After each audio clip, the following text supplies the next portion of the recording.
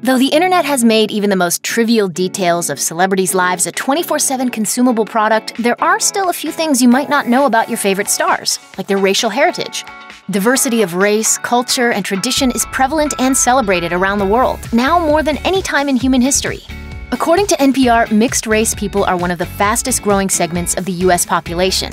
So, who are the multiracial celebs you might have missed? From longtime favorites to emerging artists, let's take a look at some celebrities you didn't know were biracial. Aubrey Plaza, Best known for her breakout role as April Ludgate, TV's favorite millennial stereotype on NBC's Parks and Recreation, actress Aubrey Plaza was born to a white mother and Puerto Rican father. She told Cosmopolitan, a lot of people don't assume I'm Puerto Rican because I'm fair-skinned, but I feel very connected to that side of my family. Every family party would end, we'd end up salsa dancing. We still do, pretty much. However, Plaza told Latina magazine that being biracial often puts her in an uncomfortable spot. She explained, I was winning the diversity awards and people were always calling bull on me. I won the Hispanic Teenager of the Year and I felt terrible. Regardless, Plaza used her platform to help raise funds for the U.S. territory following Hurricane Irma in 2017. Pete Wentz. You probably don't listen to Fall Out Boy and instantly think reggae, but bassist Pete Wentz knows all about it. His mother was born in Jamaica, and his black maternal grandfather served as U.S. ambassador to Sierra Leone. Wentz told Alt Press, I grew up going to Jamaica a lot. I didn't appreciate then that while Bob Marley and the Wailers are cool, it goes much deeper than that. The rocker is also related to former U.S. Secretary of State Colin Powell. Wentz told Vice in 2013 that Powell is his great uncle and shared, I met him around Desert Storm. I remember asking him, Oh man, are you going to be using bazookas? I can't even imagine. Like, wow, what a goofy thing to ask. J. Cole.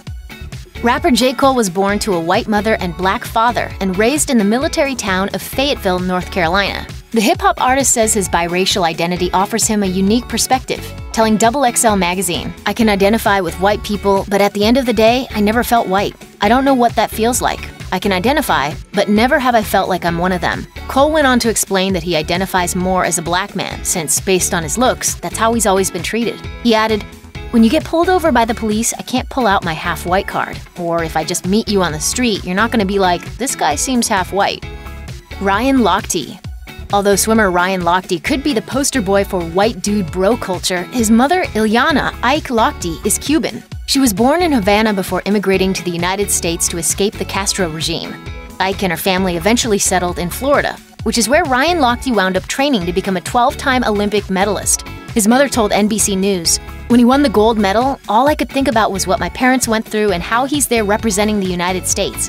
And my parents wanted us to be there so badly, to be in the United States. As a swimmer, Ryan consumed 8,000 calories a day. I mean, who likes eating greens?